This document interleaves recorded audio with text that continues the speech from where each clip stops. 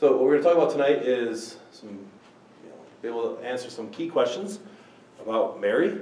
Do Catholics worship Mary? You know the answer is no. But what is our relationship with her? We'll talk about what's called Marian dogmas. Dogma is a very clearly defined, must be believed uh, teaching about uh, some matter of divine revelation. These are the dogmas, like the dogma of the Trinity. Uh, we can't we can't say we're real Catholics if we're rejecting dogmas. These are clearly defined, essential uh, to be believed, essential parts of Revelation. Marian apparitions, we'll talk about that. Why do Catholics pray to saints at all? Uh, do Catholics, we'll talk about the whole realm of statues. Do Catholics worship statues? Obviously not, no. Okay, so I would say the most common misconception out there in the in the whole world about if you ask Catholic, what do, what do Catholics believe, and they get it wrong. Number one is Catholics worship Mary, which we don't. We love Mary, she's our mom. Uh, we believe that Christ gave us gave her to us as our mom. We believe that the scriptures back that up very clearly. And we talk to Mary uh, and the saints as in heaven as members of our family. That death doesn't separate us from the people in heaven. The Bible is very clear about being surrounded by a cloud of witnesses. The Bible is very clear in the book of Revelation that the saints in heaven offer our prayers, excuse me, offer our prayers like incense before God. Right? They interact with our prayers. They interact with what's going on. And they intercede. We see this in the book of Revelation where they're interceding for things to happen on earth. That just, when we die, we don't become um, completely oblivious to everything that's going on here, uh, which would be tragic. Right? When you love someone, and you love people, you get closer to God, you don't be like, wow, I'm just going to be up here dealing with Jesus and sorry about you guys, I ain't going to think about you at all. No, people up in heaven are going to care. Right. So, we talk about Mary, one of the words that I think is important to bring up is typology. So, typology is a prophetic foreshadowing of a future counterpart. When something in the Old Testament points to something in the New Testament which is key to understanding fulfillment, that Christ has fulfilled all things. Uh, not just fulfilling explicit prophecies, but even fulfilling these Old Testament types that were things that were fulfilled in Christ. Jesus makes this explicit today. This scripture has been fulfilled in your hearing. So the Catechism says it this way the New Testament lies hidden in the Old, and the Old Testament is unveiled in the New. And the more we understand Scripture, the more we see, like, wow, God writes history like people write books he's connecting this to this and this and this, this and this and this and this. This is amazing. And you're like, yeah, it's because it's God, right? It's God doing that. Okay, so some examples of typology in the Bible. Jesus teaches how Jonah's three days in the whale, uh, in the belly of the whale, foreshadows his three days in the tomb. That's a type. So Jonah's three days is a type of Jesus' entombment. John chapter 3, verse 14, Jesus says the bronze serpent symbolizes his crucifixion. Uh, the bronze serpent, so the people of Israel were rebelling, so God sent seraph serpents to bite them, and they were dying, and so they freaked out and they started repenting of, sorry, we betrayed God. Moses, go plead with God. And God said, okay, put a, put a serpent on a staff and hold it up, and anyone who sees the serpents, they're not going to die. Sees the bronze serpent. And Jesus takes this and says, just as Moses lifted up the serpent in the desert, in the wilderness, so too will the Son of Man be lifted up, that all who believe in him may not perish, um, but have eternal, well, I think I'm mixing quotes, have eternal life. It's just as, you should bring my Bible with me, because John 3.16 is, uh, for God so loved the world. Okay, all right. 1 Peter 3.19, Peter shows that Noah's flood prefigured baptism. Romans 5.14, Paul calls Adam a type of Christ. Christ is the new Adam. Adam's sin brought death, Christ's salvation brings life. So, the three major Marian types in the scripture we know that Jesus was prophesied about. He was foreshadowed. All the Old Testament speaks of Christ. Christ is the center of the universe, He's the center of everything. But Mary, as his mom, was also foreshadowed. She was pointed to, she had types about her. And we can see that in Mary as the new Eve, Mary as the Ark of the New Covenant, and Mary is the Queen Mother. So let's go through that. Mary is the new Eve. Adam and Eve uh, brought death into the world, Jesus and Mary, the instruments of life. We see this prophesied about in Genesis 3:15, I will put enmity between you and the woman, between your offspring and hers. He will strike at your head while you strike at his heel. And so there's this very first prophecy about a woman and her offspring, which we know, of course, is Mary. And so we see this connection. Adam and Eve fall. Now the woman and her offspring. We talk about the new Adam and the new Eve. We see Jesus and Mary are mother and child, and not husband and wife. But there's a new Adam and new Eve. And Jesus refers to this. He refers to this type when he calls her woman in John's Gospel. At the wedding feast of Cana, woman, what does this have to do you, with you and I? Um, how, does this, how does your concern involve me? And uh, on the cross, woman, behold your son. He's not just, he's not using that in any type of demeaning way. When you're dying on a cross, you're not going to demean your mom, right? That'd be ridiculous. He honors his mom. He follows the commandments. He's referring to this prophetic reality or woman. He could have said mom, he could have said Mary, could have said lots of woman. There's a, there's a depth there. Fallen angel Satan brings words of death to Eve. She believes and brings death to the world. The archangel Gabriel brings words of life to Mary. She believes and brings the Savior of the world. Eve disobeys God, Mary obeys God completely. Eve's no, Mary's yes. Eve cooperates in Adam's sin, Mary cooperates in Christ's victory. I think it's beautiful, right? Uh, Mary is not the Savior of the world, but God came to us through the Blessed Virgin Mary, and through her, yes, she had free will. And she is key cooperator, cooperator par excellence, right? pivotal. If she'd have said, oh, no, we'd have been lost. Mary's the Ark of the New Covenant. It's kind of cool. Uh, all the stuff is cool, of course. The, the Ark, I'm not going to give a complete history of the Ark. You can read the Bible if you want a complete, complete history. But the Ark of the Covenant was uh, created, established by God through Moses. God commanded Moses to create the Ark after they were freed from Egypt. And the Ark went with them in battle when they brought the ark into the uh, Jordan River, it split. Uh, the ark was a pointer of God's presence. His glory would, would dwell over the ark. Eventually, uh, the, Babylon, the Assyrians came in and obliterated the northern ten tribes. And then, uh, before the Babylonians came in and obliterated Jerusalem, uh, the lower two tribes, Jeremiah, the prophet Jeremiah, hid the ark. And there was a prophecy that it wouldn't be revealed until God uh, had mercy on us, remembered his people and had mercy. Uh, and we're going to see how that revelation is not revelation of the old physical ark, but of the new. So the ark carried the written word of God. Of course, Mary carries the living word of God. Now, uh, some of the some of the connections here. A glory cloud, a cloud of glory covered the tabernacle and the ark. And then in Mary, what does the angel say? The Holy Spirit will come upon you, and the power of the Most High will overshadow you. The ark spent three months in the house of Obed-edom the Gittite and blessed the house of Obed-edom. Mary spent three months in the house of Zechariah and Elizabeth. King David asks, How does it happen to me that the ark of the Lord comes to me? How can the ark of the Lord come to me? Elizabeth asked Mary, Why is it granted to me that the mother of my Lord should come to me? David leapt and danced before the Lord when the ark arrived in Jerusalem. John the Baptist leapt for joy in Elizabeth's womb when Mary arrived. What was in the Old Testament ark? The Ten Commandments, the Word, the Word of God, the, the law of God written on tablets, the staff of Aaron, and a jar filled with the manna that fed the, the Israelites in the wilderness. Well, Christ is the living Word of God and fleshed. He is the one who says, I am the bread of life. And of course, he is the high priest himself in the line of the line of Melchizedek. This gets explicit in Revelation uh, chapter 11 and chapter 12. In Revelation, now, it's important to remember that chapter and verse did not come about when John and the apostles and the scripture authors were writing, right? They weren't like chapter 1, verse 1. They just wrote. The chapter and verse was, was uh, invented by the Masoretes in the 800s, 800 years after Christ. And so, the end of chapter 11, it says, uh, God's temple in heaven was open, and the Ark of the Covenant appears. And then chapter 11 ends. You're like, wait a second.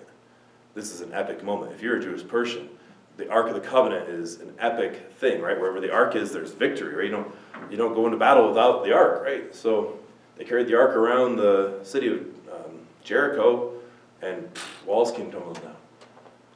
And then the chapter ends, but again, it's not a chapter and verse type of thing. What is the very next verse? Uh, the very next verse in chapter 12, verse 1 is a woman clothed with the sun, with a, star, with a crown of stars on her head and uh, the moon under her feet. The, uh, John is saying, the ark appears, woman clothed with the sun.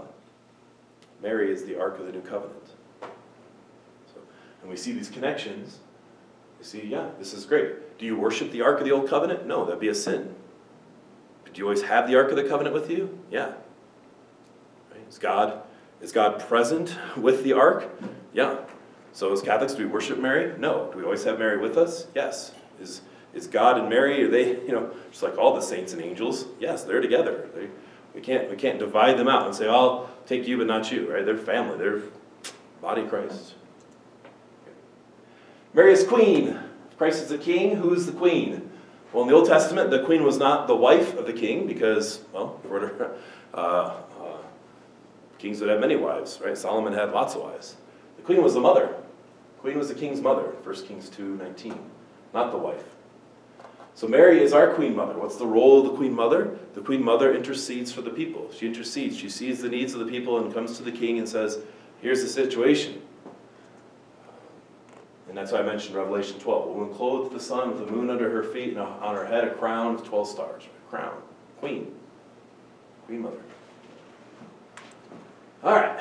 Now, so those are some of the, the types. And you can read lots of books that go into a lot more details and connections between other Old Testament people and Mary, and it's all awesome and great, but you know, we have a limited amount of time. So I want to get to four key Marian doctrines or dogmas that Catholics believe, Catholics must believe.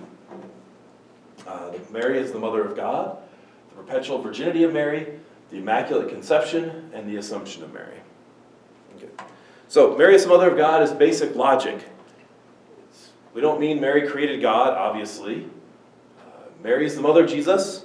Jesus is God. Therefore, Mary is the mother of God. Basic logic.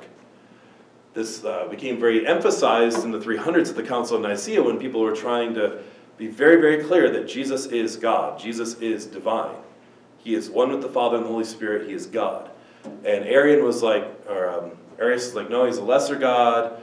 Nestorius was like, no, he's, he's two separate, two separate things. Mary is the mother of the human part of Jesus and, and not the divine part of Jesus. It's like, well, you can't separate Jesus like that. Obviously, she doesn't create the divine, but Jesus is one eye. He's one eye, not two eyes. He's one person. And she gave flesh. God created the flesh of Jesus from Mary's flesh. He created the soul from nothing as he creates all of us, uh, our souls out of nothing. And he always was divine. He's a, but he's a divine person and when Mary's calling Jesus, who's she calling? She's calling God, right? I. He can say, I am God. Therefore, she can say, I'm the mother of God. Basic logic. Where is this in the Bible? Very clear. Luke's chapter, Luke chapter 1, the mother of my Lord. Her child is called the Son of God. Right? And the Protestant reformers never actually denied this. This wasn't denied until uh, hundreds of years after the Protestant Reformation. Perpetual virginity of Mary, Mary was a virgin before and after conceiving, giving birth, conceiving and giving birth to Jesus, and remained a virgin for her entire life. And so Catholics have always believed. Uh, so why do some people think this is a problem? Some people think this is a problem because there's a, there's lines in the scripture where it talks about the um, the brothers and sisters of Jesus. Uh, and then this line in Matthew, Joseph knew her not until uh, Jesus was born. So, and I, I printed out this, which is my uh, longer notes version of the talk that I've given for many, many years on this that goes into a lot more details than I put on the PowerPoint. So I encourage you to kind of check this out. So in the scriptures, the one of the basic answers is there's two possibilities with this part, the brothers of Jesus. One possibility is they are older step siblings. Joseph was a widow, could have been a widow, and uh, was taking Mary into his home to protect her, that she always intended to be a virgin. never intended to have children, and uh, and he was, he, but he had he could have had children uh, from uh, a wife that had passed away. And there's some evidence of that when it talks about his brothers trying to uh, correct him, trying to get him to not do something which younger siblings would have never done in that culture. That's that's disrespecting your elders. That is super sin. Don't contradict your elders. So there's some evidence of that. Or uh, they can mean cousins or nephews. In that time, 2,000 years ago, in ancient Hebrew, ancient Aramaic, there was, there, was, there was no word to distinguish all of that. There's no word. There is now, there was no word back then. They just called cousins and nephews and all that, they called them brothers, right? There's their family. We see this in the scripture itself. Lot is called the brother of Abraham when he's not. It's in the Bible. He's called the brother of Abraham, but he's not. He's his nephew. So, um, so there's two options there. Uh, Joseph knew her not until. So until, that the way that, verb is used, that word is used, does not mean that somehow things changed afterwards.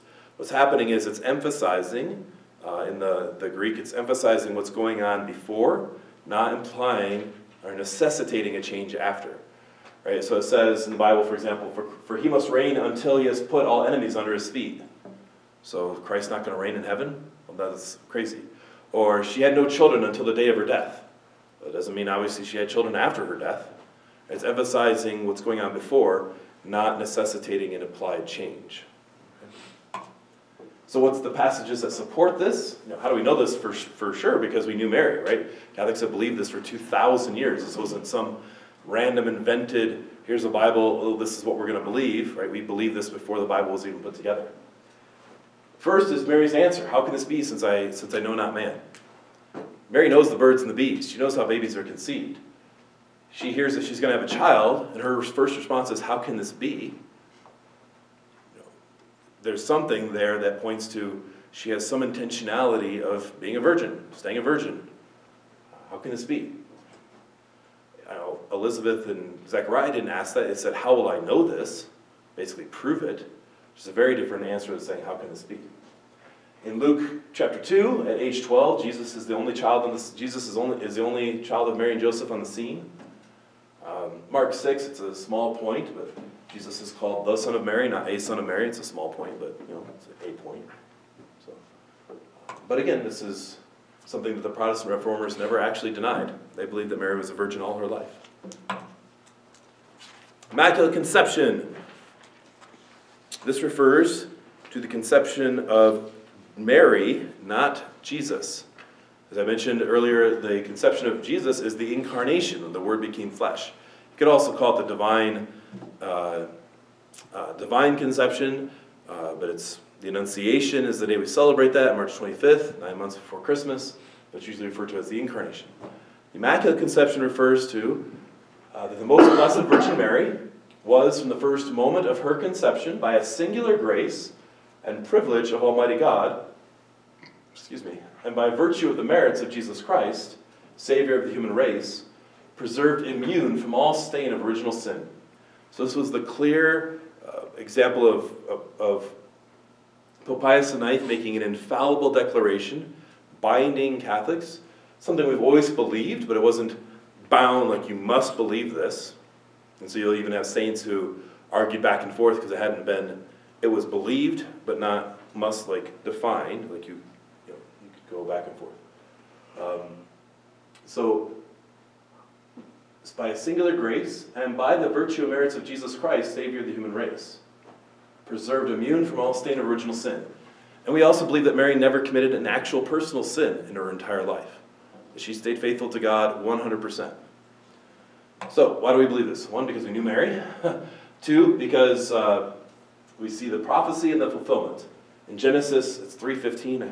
Uh, years I haven't corrected that. years, it's 3.15, not 1.15. Enmity between you and the woman. Enmity means completed odds, right? There's a hinting of this, that Mary's not going to be in cahoots with the evil one. Well, if you're a sin, you're into the, you're into the realm of sin. So she's at enmity, at completed odds. But one of the coolest things is just Luke 128. This hail full of grace, which we say in the Hail Mary. Hail full of grace. Hail Mary full of grace, the Lord is with you. Full of grace. This is a if you really want to nerd out, a hapax legomenon. It's the only time in all of Scripture where this word is used, hapax legomenon. It's kecharitomene, which is a, I always have to remember, I think it's, it's past perfect participle, right? Isn't that it?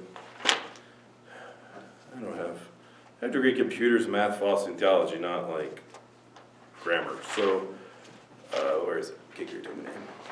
Perfect passive participle of carito, meaning to fill or endow with grace. So sometimes you'll see people say highly favored daughter with that, but that's a butchered translation. The perfect passive tense refers to an event whereby Mary was being filled with grace was an already completed action in the past.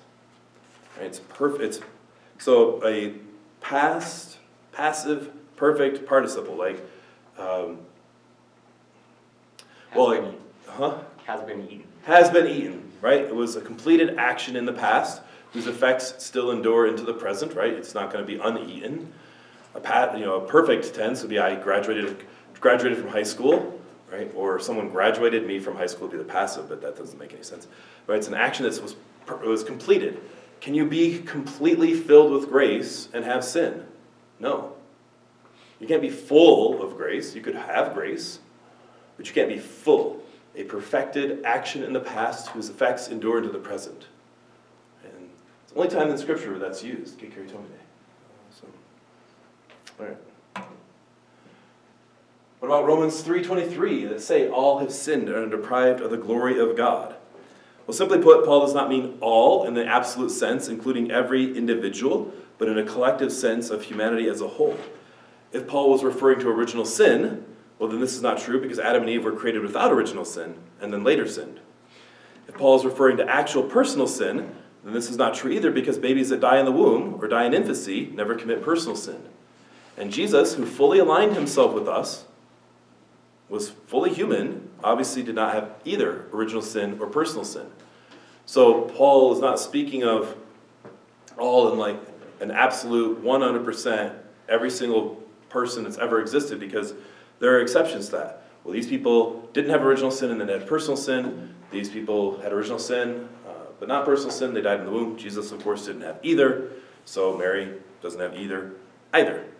So, um, and we see this played out where the collective use, where Paul says, No one is righteous, no one, not one, but yet the Bible says Job, Joseph, parents of John the Baptist, are righteous. So he's trying to make a simple, like, we're all sinners, no one's righteous, but yet the Bible calls people righteous. So it's not a, it's not a contradiction because it's not, um, it's not trying to be a mathematical absolute. Different connotation. Huh? Connotation. Different connotation, yes, that's right. So does that mean Mary, being without sin, doesn't need a savior? No, of course not. Uh, Mary was saved in the greatest way. Mary has a savior in a greater way. What's, what's a greater salvation? To be pulled out of a pit or to be prevented from falling into a pit? To be prevented from falling into a pit, right? When that's the better salvation, right? Um, uh, so Mary was saved in a supreme way by the merits of Jesus Christ, who lives outside of time, being applied to her. Why would God do that? Eve was completely free and sinless when she said no. God wanted a completely free and sinless yes. Right? Sin warps us. Sin damages our freedom, makes us less free. Eve had a complete freedom to say no. Mary had complete freedom to say yes or no. Of course, she said yes. So it's fitting, right? It's fitting also if you're gonna if you're gonna preserve someone from sin, you're gonna preserve your mom, right? It's also with Mary, it's the Ark of the New Covenant. You don't touch the Ark, right? The Ark is is gold. It's pure. Well, Mary was pure. She didn't have any sins. Okay. The assumption of Mary is a logical consequence of the Immaculate Conception. If Mary didn't have any sins, then she didn't have to suffer the consequence of sin, which is permanent until the end of until the Christ restore, until Christ comes again and uh, the resurrection of the body happens. Um, that she doesn't have to live without her body. So this is what again our Pius XII now in 1950 clearly defined as a dogma. Mary, the immaculately perpetual, the immaculate perpetually virgin mother of God, right? So it's like, all right, all the dogmas, all there. After the completion of her earthly life, was assumed body and soul into the glory of heaven. So this is different from Jesus' ascension, because Jesus went to heaven on his own power. Mary was taken up to heaven by the power of God. Now, something that has not been clearly defined that must be believed is whether or not Mary, uh, at the end of her earthly life, just fell asleep and disappeared, was taken up into heaven, uh, or if she died, was buried in three days. Christ resurrected her, raised her from the dead in imitation of himself. So you'll have um, you'll have two different stances there uh, in the East and the West, and, and Catholics are free to believe either. Uh, I think it's more fitting that she just was assumed, right? Um, didn't didn't didn't spend time in the, the tomb, but whatever. Uh, and we see we see hints of this uh, of Enoch and Elijah, right? Enoch and Elijah, boom, Elijah taken up in a fiery chariot, body and soul all together. So it's not like this is, this is a foreign reality where someone could just be taken up by God. So this points to the importance of the resurrection of the dead, that our bodies are part of us, our bodies matter. Um, after Christ rose from the dead, there were many in the tombs that, that came back to life and walked into the city and proclaimed. That's what the scriptures say. Uh, so Mary is uh, the follower, discipler, disciple of Christ par excellence. And where we are called to go, she has already gone. And so she is our example of what it means to follow Christ, what it means to be uh, someone who is a disciple. And just like we're going to have a resurrected body, she has a resurrected body now. So, of course, so does Jesus. Okay. So you'll see in the, in the, we talked about how the holy days of obligation and many of the feast days throughout the year commemorate Our Lady, um, the Blessed Virgin Mary, who's part of, part of our life. She's our mom. We love her. As Catholics, as I said, we don't worship the Blessed Virgin Mary, but we revere her, we venerate her, we treat her with great respect. We honor our mother, as the commandment tells us to do. So you've got the holy days of the holy days of obligation, January 1st, August 15th, December 8th, all related to uh, the Blessed Virgin Mary. And we talked about how, oops, we talked about all that with regards to when what falls on a Saturday or Sunday or whatever. Okay? So, and there's other feast days throughout the year uh, where we're celebrating Our Lady of Lourdes or Our Lady of Fatima, and that's what I'm talking about now. So uh, we have public revelation. We talked about public revelation being uh, uh sacred scripture and sacred tradition as taught by the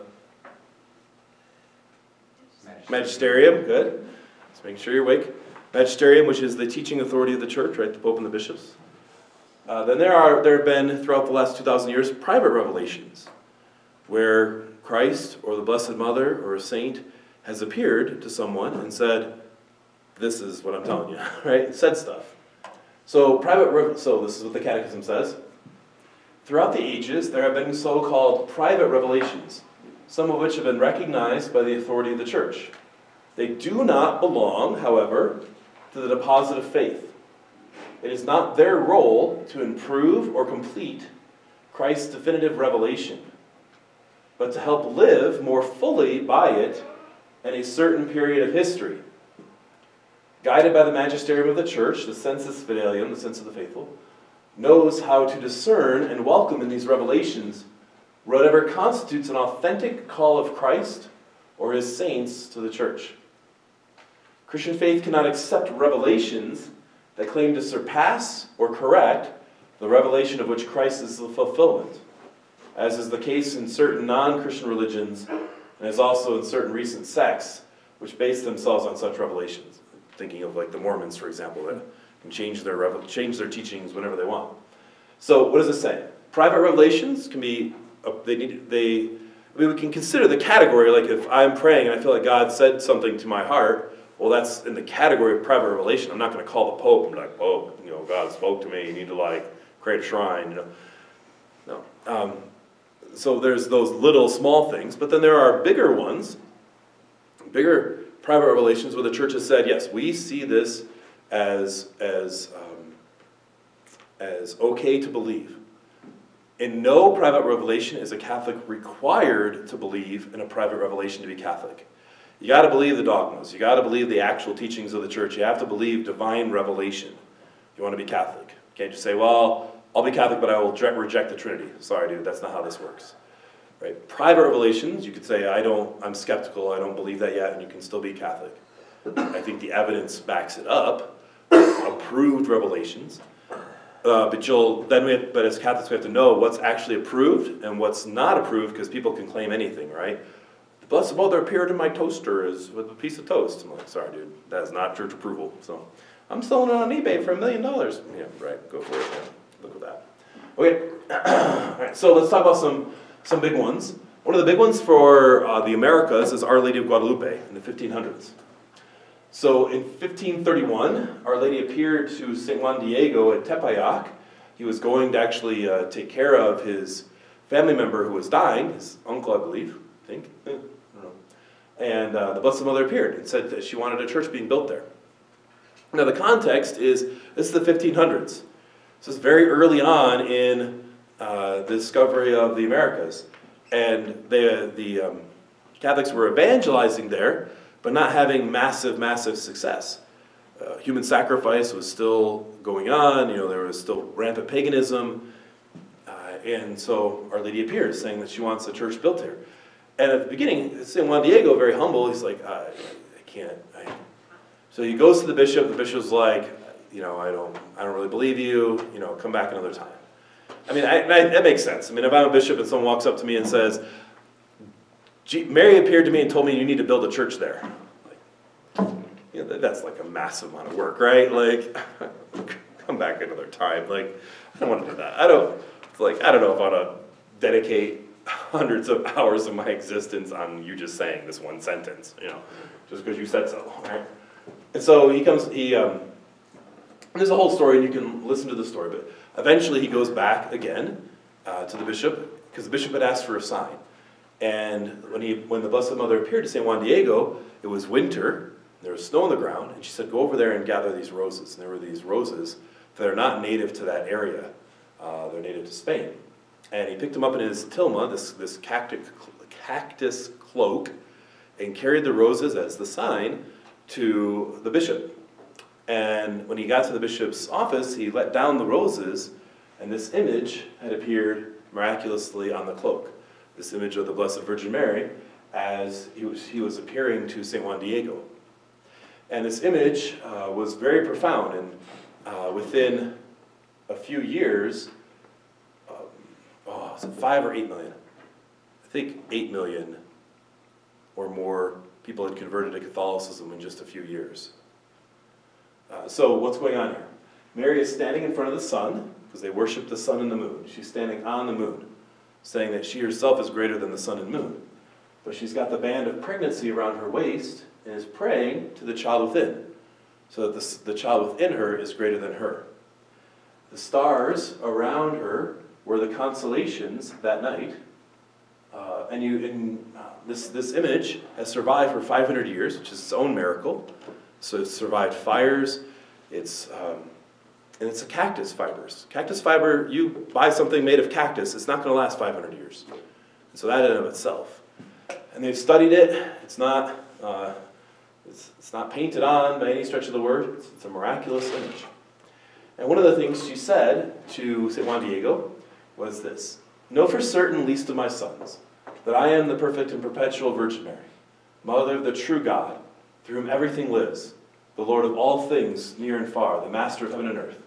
It is my earnest wish that a temple be built here to my honor. Here I will demonstrate, I will exhibit, I will give all my love, my compassion, my help, and my protection to the people. I am your merciful mother, the merciful mother of all of you who live united in this land, and of all mankind, of all those who love me, of those who cry to me, of those who seek me, of those who have confidence in me. Here I will hear their weeping, their sorrow, and will remedy and alleviate all their multiple sufferings, necessities, and misfortunes. Very motherly, right? I care. I see you. I care. I'm going to do something. You know, uh, it's just beautiful. Very motherly. Okay. Our Lady of Lourdes, uh, Lourdes, France. Uh, the Blessed Virgin Mary appeared 18 times to St. Bernadette from February 11th, 1858 to July 16th, which is another feast, Our Lady of Mount Carmel. And Our Lady again asked for a church to be built there. and Our Lady directed her to an undiscovered spring of water that um, many to this day immerse themselves in or drink the water and ask God for miraculous healing through the intercession of the Blessed Virgin Mary. And many, many, many miraculous healings have happened. If you go to Lourdes in the Basilica, you see crutch after crutch, after crutches after crutches after crutches, little medallions um, uh, representing all the miracles that they've experienced. There's actually a, a group of scientists who investigate. They can't investigate all of them, but they choose some to investigate each year and to say, yeah, we, we looked into this and there is no scientific evidence to, to, there's no scientific explanation to back this up. This, this, this has all the characteristics of a miracle. And it's still happening to this day. And uh, she, when she, one of the things she said to her, she said lots of things to her, said, I am the Immaculate Conception. Um, uh, Bernadette eventually became a nun and uh, is now a canonized saint. Is awesome. Our Lady of Fatima our Lady appeared to three children, little children, six times in 1917. Taught them many things, asked them to be devoted to the Holy Trinity, uh, and to pray the Rosary every day for peace. Now, there's lots of miraculous things that happened, but one of the most famous miracles was people heard about the apparitions and, and would come, came, came out to see, see that, see the scene. And while there was thousands of people around, thousands of people saw the sun dance around in the sky and get bigger and bigger and bigger like it was going to collide with Earth. And people were losing it and freaking out, thinking the world was over. And then it returned back into the sky, and it seemed to pulse. Not just, not just three, these three people seeing this. This is thousands of people testifying, yes, we all saw this happen. This all happened. Uh, Francisco and Jacinta died very young uh, in childhood and became are now canonized saints. Sister Lucia, Lucia uh, lived many years as a cloistered nun and just died a few years ago. Uh, and I'm sure will be canonized eventually, but she just passed away a little while ago. Um, okay. What else? All right. How are we doing? We're doing good. All right. Okay, so praying to Mary and the saints. Common misconception is that we pray to the saints like we pray to God, which we don't. We ask the saints to pray for us. We talk to them like our family members. We love them. Uh, we don't treat them like God, obviously. We worship God alone. Worshiping the saints and angels is a sin, mortal sin. We venerate the saints. We have reverence for the saints. We treat the saints with respect. And we honor them. We don't worship them, we honor them. We love them. They're our family members. They're our heroes, right? We're surrounded by this cloud of witnesses. Just like people would be like, Moses is awesome. Abraham's awesome. We're like, St. Francis is awesome. Right? That's what we do. Uh, this does not take away from Christ as the one mediator between God and man, as it says in 1 Timothy. Uh, it's very interesting to note that right after this in 1 Timothy, St. Timothy tells us, St. Paul tells us to pray for one another right after this. So, does it take away from the mediatorship of Christ to ask me to pray for you? No. Christ is the only mediator between God and man. And we, we need to go to him. We need to have a relationship with him. But he actually commands us to pray for one another. So if I say, please pray for me, that's not any type of distrust in the mediatorship of Christ. It's saying, I know that both are willed by God. God wants us, wants us to pray to Him and talk to Him and have a deep, personal, intimate relationship with Him, but He also wants us to support each other and pray for each other. We see this wherever two or three are gathered in my name, there I am in the midst. Offer intercessions. It's commanded. And so it's a basic logic is if it's okay to ask someone to pray for me on earth, it's okay for, for me to ask someone in heaven to pray for me. If this doesn't take away from the mediatorship of Christ, then neither does this. Just because this person is not walking around on earth, they're still alive to God, right? All are alive to God. They still exist, they're still alive, they still have souls, and they're with God, then we can do this.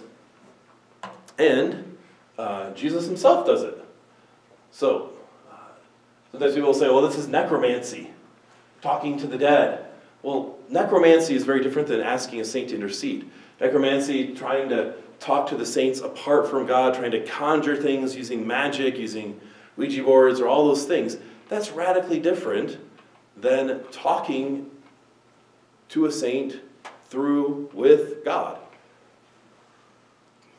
Did Jesus, was Jesus committing necromancy when he was talking to Moses and Elijah? Of course not. Jesus doesn't sin. But At the transfiguration on the mountain of Tabor, he did. Behold, there appeared to him Moses and Elijah, who were dead, talking with him. So, why not go right to Jesus? We do, of course. if you're only talking to the saints, you're only talking to Mary, you are not being a good Catholic. Because Catholics are dominant, dominant, dominant relationship is with God, is with Father, Son, and Holy Spirit, right? Our dominant percentage of time needs to be directly interacting with, with God. But we're not isolated, individualistic Christians who ignore the rest of the family. we are a family, and so we interact with the family, right?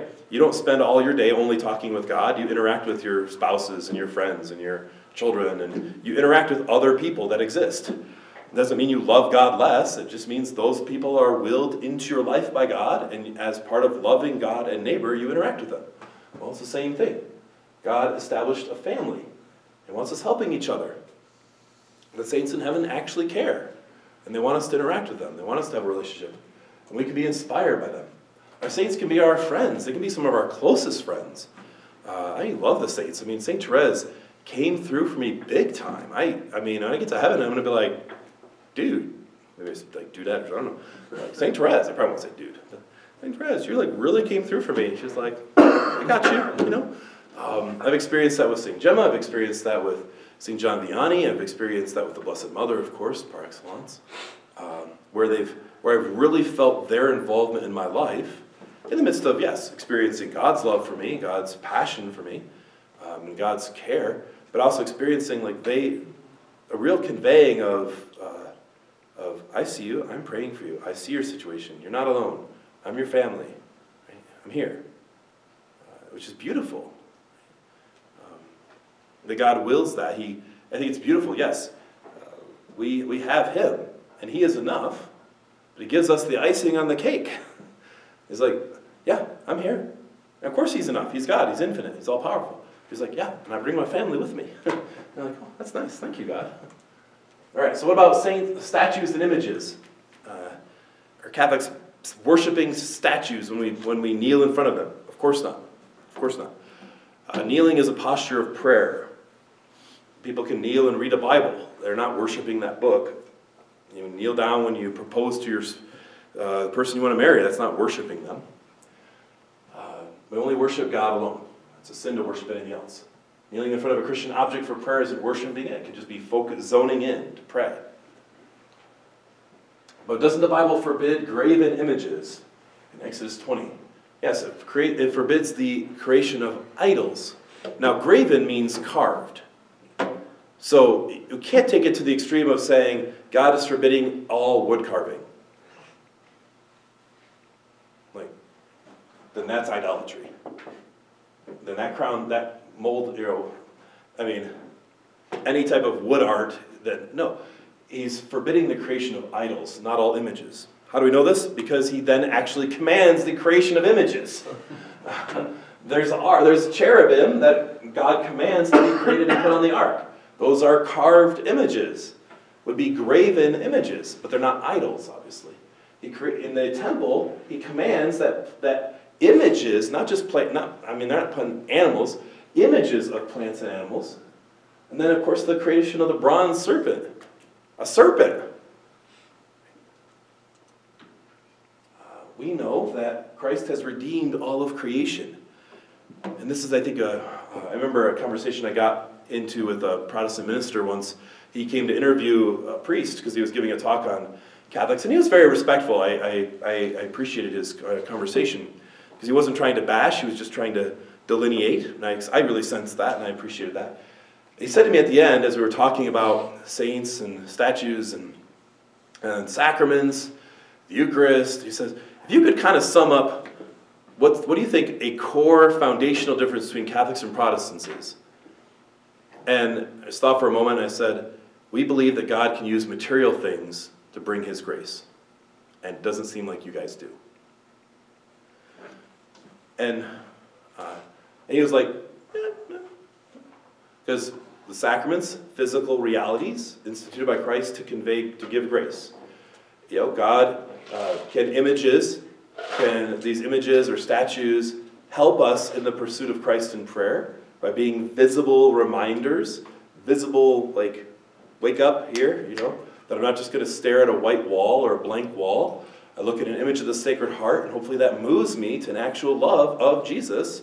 Or I see a beautiful crucifixion scene, and hopefully that moves me to meditate on the crucifix, of, the crucifixion of Christ. I'm not going to worship that image, that would be ridiculous. Just like seeing an image of your child helps, hopefully, move, grabs your heart. You know, people see images of their loved ones, they're like, oh, my loved one. They're not like, oh, I worship this image. I'm having this emotional reaction for this, this physical representation. No, they're having an emotional reaction for the person that this image is reminding them of. Uh, Christ wedded humanity, wedded material reality to himself.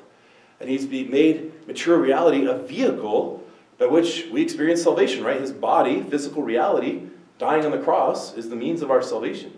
And so, can he use physical things to work in our lives? Yes, he can use these things. Okay. All right. Uh, prayer that uh, is common amongst Catholics is the Rosary, so I'm going to talk about that just for a few minutes. I put Rosary books. Can I see this? Mm-hmm. Thank you. Uh, I put these little tiny um, Pray the Rosary books on here. Uh, this is a real standard Catholic prayer. Uh, I always have my rosary with me. Now, if you really want to nerd out, this is a six decade rosary, not a five decade rosary, because this is called a Carmelite rosary. That's a whole other story for another day. So, the Carmelites pray an extra decade uh, because they want to. Okay, so um, the rosary came about through St. Dominic. Now, praying, um, now, for example, the monks in the monasteries would, uh, would pray the 150 Psalms every week. They had to pray all 150 Psalms. And the people, but the people wanted to go, go in on that, but, you know, printing press didn't exist. And having hand copied text is really expensive. And so there became this tradition of, of, and you know, many people were illiterate, couldn't read, of praying 150 Our Fathers uh, in imitation of, of, uh, of the monks. Like, okay, we can do this part, we can't pray all 150 songs because we don't have access to them, because we don't have a printing press, we don't have handwritten copies, so, but we can do this. And so then that slowly uh, developed, and then St. Dominic asked the Blessed Mother, asked God, uh, asked God to, uh, well, asked the Blessed Mother to help her, help him in the evangelization of people. He was a Dominican, or well, he's the founder of the Dominicans, Dominic, St. Dominic. And the Blessed Mother appeared and, and gave, him, gave him the rosary. Uh, this is in the uh, 1100s, I think. Um, where is it? I don't have it here. Oh, all right. So, um, are we doing? What are we doing? Okay. So the it consists of prayers that are scriptural, right? The Our Father, scriptural. The Hail Mary, scriptural. Hail, full of grace, the Lord is with thee. That's the Archangel Gabriel. Blessed art thou amongst women, and blessed is the fruit of thy womb, Jesus is the words of Elizabeth to the Blessed Virgin Mary at the visitation. And then we say, Holy Mary, Mother of God, pray for us sinners, now and at the hour of our death. And so there's um, repetitive prayer where you're praying one Our Father and ten Hail Marys, and then the Glory Be, one Our Father, ten Hail Marys, Glory Be. So sometimes people say, aren't you, aren't you violating Jesus' words in Matthew 6? Uh, don't don't uh, pray as the pagans do. They think by their many prayers that uh, um, by their many prayers that they will be heard. Your Father knows what you need. So, does that forbid saying the same thing twice? no. So, pagan prayers is very pop machine esque. I said these ritual prayers and I will get what I want. I, you know, pop machine. I put in my, my, my coins, I'm going to get my pop. There's a very big difference between Catholic, uh, a Catholic repetition to focus the mind and the heart versus a pagan idol repeti repetition as a way to try to control the gods. Um, and we see repetitive prayer in the scriptures itself. The widow seeking justice. Jesus commends her for going, give me justice, going and going again and again and again and again and again and again and again. Jesus in the Garden of Gethsemane has a repetitive prayer. Three times he goes, Father, let this cup pass me, but not my will, but yours be done. Why didn't he just say it once? Did he not have a trust that he was heard the first time? No, there's something, he's expressing his heart repeatedly. The angels in the heaven, there are angels in heaven in Revelation 4 that, what do they do all the time for all eternity? Holy, holy, holy is the Lord God of hosts. Holy, holy, holy is the Lord God of hosts.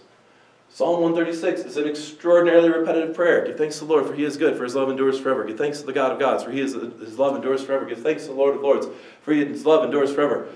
His love endures forever. His love endures forever. This, all, every other line, his love endures forever. His love endures forever. His love endures forever. There's repetitive prayers in the scripture. Now, how we pray the rosary is very critical, right? You don't want to pray the rosary like it's a NASCAR race, right? Hail Mary, full of grace, the Lord is with thee. Blessed art thou among women, blessed the womb. Holy Mary, Mother of God, pray for now the hour of death. Hail Mary, full of grace, the Lord is with thee. Blessed art thou among women, blessed is the womb. Holy Mary. It's not a res- that's that's useless. That's idle, repetitious. Um, saying the words just to say them, just to get them done. That's a very pagan-esque way of praying. Um, but the rosary is a great prayer because it works at a basis, base, basic level for kids, where you're just saying the words, Our Father who art in heaven, hallowed be thy name, or Hail Mary, full of grace. And you, you can actually intend, you know, really focus in on the words, Hail Mary, full of grace, the Lord is with thee. Blessed art thou amongst. Holy Mary, Mother of God, pray for us sinners now at the hour of our death. Glory be to the Father, to the Son, and to the Holy Spirit. Or you can meditate on the mysteries of the Rosary, uh, which is, I think I have that here, yeah. Because the, the center of the Rosary is Jesus Christ Himself.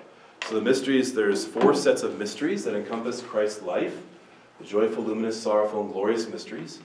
Uh, and as you're praying the Rosary, you have prayers at the beginning, the Creed, the Our Father, three Hail Marys, one for faith, one for hope, an increase of faith, hope, and charity. The glory be. And it's common, uh, uh, ever since Our Lady of Fatima appeared uh, and gave them the Fatima prayer. Oh my Jesus, forgive us our sins, save us from the fires of hell, lead all souls to heaven, especially those in most need of thy mercy. And then we start with the mystery. So the first, mystery, the first joyful mystery is uh, the, annunci- the Annunciation. And then we, while we're praying the Our Fathers and the Hail Marys, we're supposed to be thinking about the Annunciation. The Word became flesh and dwelt among us. Christ took on our flesh, took on our humanity, as we're praying the Our Fathers and the, the Our Father and the Hail Mary. And then the second joyful mystery. So I have that here with um, the mysteries. The visitation, the nativity, the presentation in the temple, the finding in the temple, the luminous, which was added by Pope John Paul II, uh, the baptism of the Lord, the wedding feast of Cana, the proclamation of the kingdom, the transfiguration, the institution of the Eucharist. The sorrowful, now it's typical during all of Lent to only pray the sorrowful mysteries, to really zone in on the sorrowful mysteries. Which is all of Advent, we're praying only the uh, joyful mysteries. Throughout the rest of the year, or through uh, Easter, we're only praying, praying the glorious mysteries. Throughout the rest of the year, it's, it, dep- it depends on the day. So Monday, Tuesday, Wednesday, Thursday, Friday, Saturday, Sunday. Uh, now, you can pray whatever mystery you want. That's the small t tradition of when to pray each mystery. There are some people who pray all four mysteries, all four sets of mysteries, or three of the sets of mysteries every day. Right, so pray whatever you, whatever, whatever you want, whatever helps. Um, those are the small t traditions, customs, uh, that you'll see uh, Catholics do. Okay. All right, so I put some resources about Mary there. Uh, especially several of these are on formed.org. If you haven't gotten an account on formed.org, you should get one. Uh, we have a parish code, so you can get that for free. Just talk to me afterwards if you don't already have it. Some of the books, Dr. Scott Hahn, who is a uh, Protestant minister who converted to Catholicism, wrote a great book, Hail Holy Queen. Uh, a new book that just came out, Jesus and the Jewish Roots of Mary by Brant Pitre. The, uh, now, this is like three years apart, maybe the same, maybe the same content, Meet Your Mother, Introduction to Mary by Mark Miravalle. Uh, the Song of Bernadette, great one about St. Bernadette and Our Lady of Lourdes. The girl who actually plays Bernadette converted to Catholicism afterwards. Was so moved. Thirteenth Day and Finding Fatima, or Our Lady of Fatima. Um, 1531 about Our Lady of Guadalupe, The Blood and the Rose about Our Lady of Guadalupe, and Guadalupe, the Miracle and the Message, of course, are about Our Lady of Guadalupe. Okay. Okay, so speaking of prayer, let's pray. In the name of the Father, and the Son, and the Holy Spirit. Heavenly Father, we thank you for this night. We ask your grace and blessing upon us, uh, especially blessing on our Lent, uh, that it can be a time of, of growth and holiness for your good and holy. Blessed Mother, we'd ask you to please pray for us, please intercede for whatever graces that we don't even know to ask, uh, because you're a good mom. And we ask this as we pray Hail Mary, full of grace, the Lord is with thee. Blessed art thou amongst women, and blessed is the fruit of thy womb, Jesus. Holy Mary, Mother of God, pray for us sinners, now and at the hour of our death. Amen. May Almighty God bless you, the Father, and the Son, and the Holy Spirit. Thanks for staying late, guys. I'm sorry. Uh, Have a good night.